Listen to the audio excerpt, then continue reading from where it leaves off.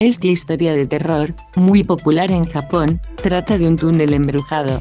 El paso subterráneo de Arashiyama Sagaki Yotaki se construyó a principios del siglo XIX en condiciones atroces. Se dice que muchos trabajadores murieron por accidentes o agotamiento durante su construcción. Por ello, no es de extrañar que las almas perdidas ronden el lugar. Se dice que una dama blanca u otros fantasmas pueden ser vistos allí causando accidentes de tráfico. Además, el túnel de Kiyotaki tiene 444 metros de longitud y, recuerda, el número 4 está maldito en el archipiélago.